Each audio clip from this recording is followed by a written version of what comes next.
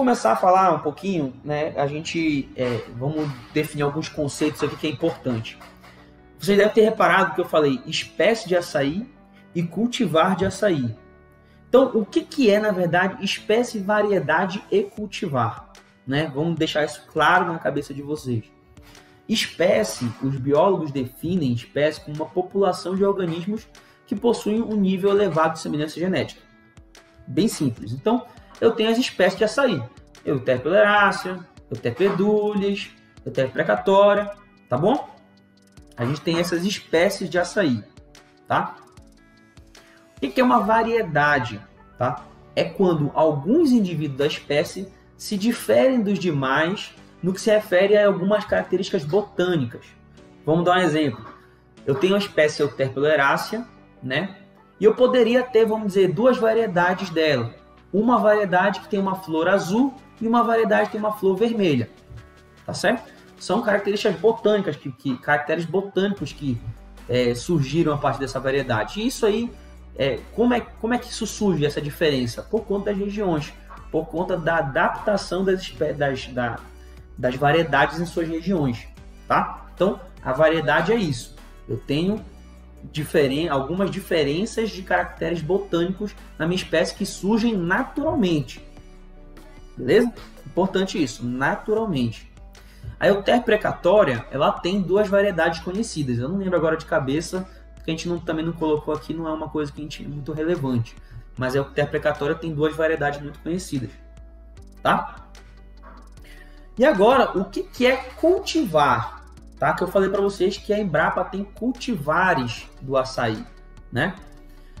A cultivar, né, pessoal, é uma planta que se distingue, se distingue das demais por meio de caracteres agronômicos, não mais botânicos, agronômicos, tá? Ou seja, nesse caso a planta ela foi cultivada pelo homem para apresentar um caractere que é atrativo do ponto de vista de produção agrícola.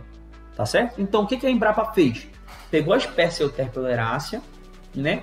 E começou a, a, a desenvolver é, uma população de plantas para que elas pudessem né, é, proporcionar características interessantes da, do ponto de vista da produção agrícola, que seria o quê?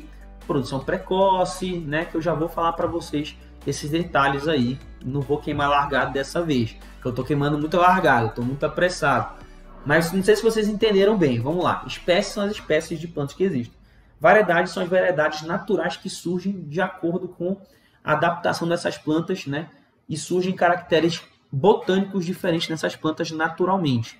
E a cultivar é o homem pega aquela planta e desenvolve ela em certas condições que elas começam a apresentar características viáveis, né, rentáveis para a produção agrícola. Beleza? Então, nossa espécie é o Terpeleracea e nós vamos olhar as cultivares desenvolvidas pela Embrapa, que são justamente as mais conhecidas, que é o BRS Pará, tá, pessoal? Foi lançado lá em 2005 e o BRS Pai d'Égua lançado agora mais recente em 2019. Pessoal, não se enganem, tá? Eu posso estar falando para vocês, ah, foi BRS Pará foi lançado lá em 2005, né? E o BRS Pai d'Égua em 2019. Mas para eles serem lançados, pessoal, tiveram vários anos de desenvolvimento, tá? Ou seja, de 2005 a 2019 foi um período em que a Embrapa pegou e começou a fazer seu trabalho sobre o pai d'égua, ou seja, tem 14 anos aí de estudo em cima dessa cultivar para que ela fosse lançada, tá certo? Então, não subestime, pessoal, é como eu falei para vocês, é, ah, esse aqui é, é igualzinho a BRS. Tem muita gente que fala assim, ah, igualzinho a BRS tem Embrapa. Igualzinho, produz do mesmo jeito, é mesma coisa. Só é mais barata. Pessoal, a Embrapa, ela é muito profissional no que ela faz, tá certo?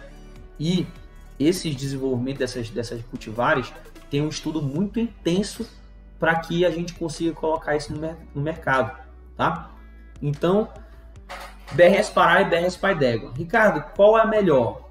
Hoje, pessoal, o queridinho da vez é o BRS Pai d'Égua, tá? Mas isso não quer dizer que Pará, que BRS Pará não seja interessante.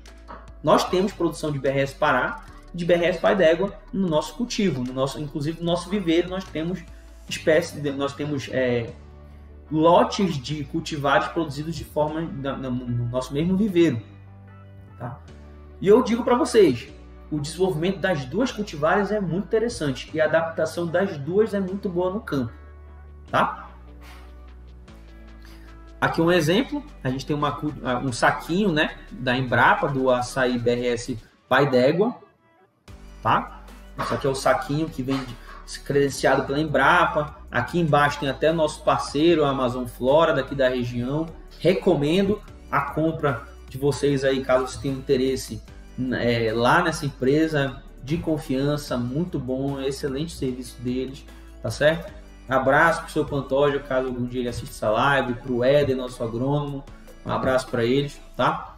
Muito interessante é, a gente sempre procurar esses saquinhos de mudas é, é, é, credenciados pela Embrapa. Não é interessante, pessoal, você chegar, ah, eu vou aqui num saquinho de compra do supermercado, o cara me vende mais semente, eu não sei de onde é que veio, não sei qual é, que tipo de cultivar tem lá, às vezes não sabe nem qual é a espécie que tem lá.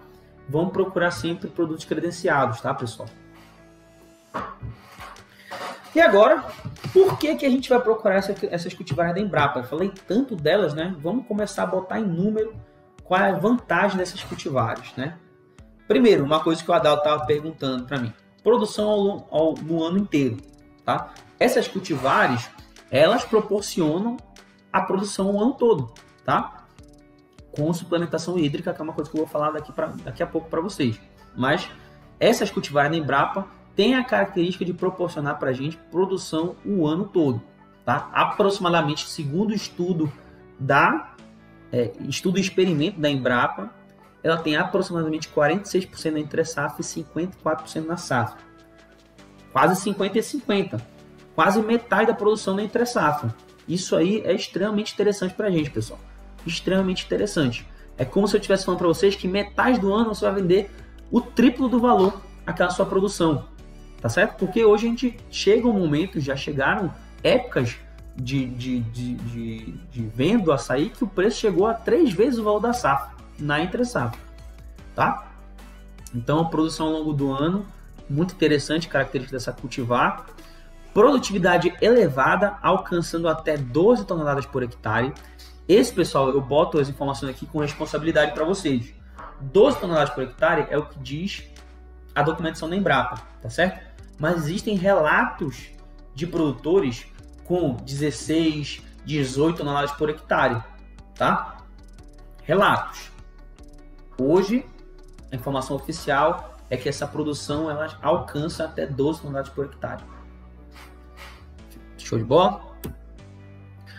Os frutos da, da, da, da Embrapa, os frutos da cultivada Embrapa, ela normalmente são frutos menores, com maior rendimento de polpa. Ou seja, você consegue proporcionar mais frutos na mesma unidade de venda, seja basqueta, seja lata, seja saca, rasa, né?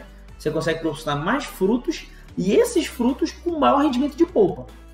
Então é, é um negócio sensacional, né? Você ter até 30% de rendimento de polpa e colocar nessa mesma unidade de, de, de venda mais frutos.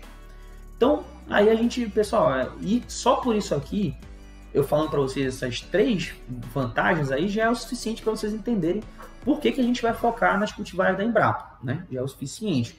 Mas ainda tem mais, né? A produção precoce, tá? O açaí da Embrapa, das cultivares da Embrapa, né?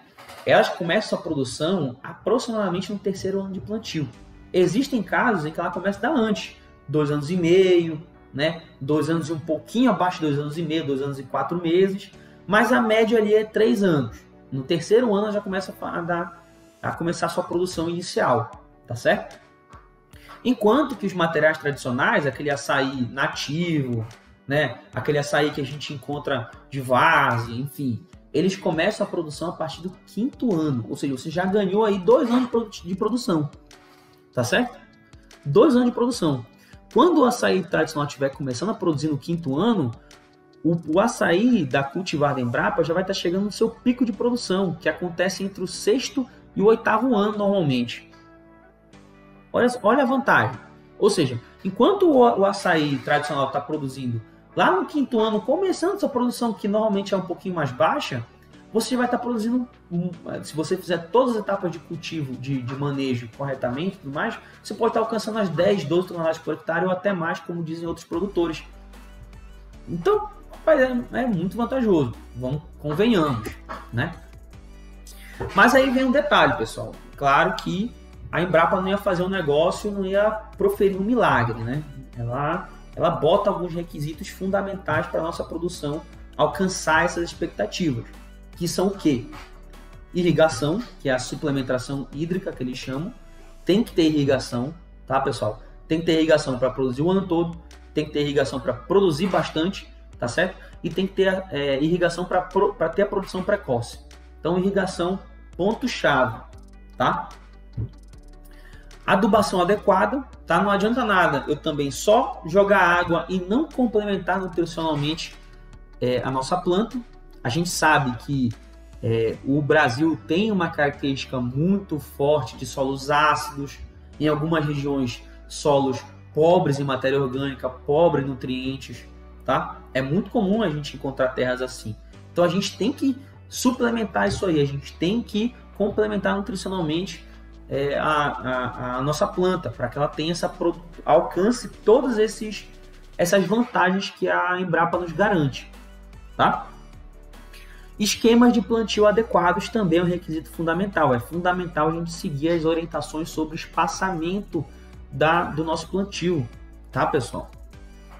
Não adianta nada eu chegar lá e plantar 50 pés de açaí no metro quadrado.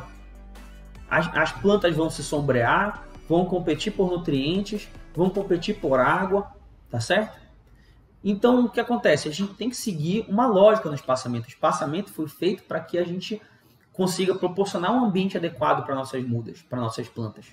Tá? De tal forma que elas não gerem uma competição, pelo menos não uma competição é, é, prejudicial, né? que seja uma competição saudável para as plantas, né? proporciona luminosidade, proporciona arejamento para as plantas, é uma questão fitossanitária muito importante, o arejamento, né, para que não tenha aquele plantio fechado, que, que gera aquele acúmulo de umidade muitas vezes e até gera focos aí de, de doenças e de pragas, tá? Então o arejamento é muito importante, também vem do espaçamento, tá pessoal? Então esses requisitos aqui que a Embrapa passa para a gente são requisitos fundamentais. A gente tem que ter isso para alcançar todas as vantagens que a gente fala né, que a gente citou anteriormente.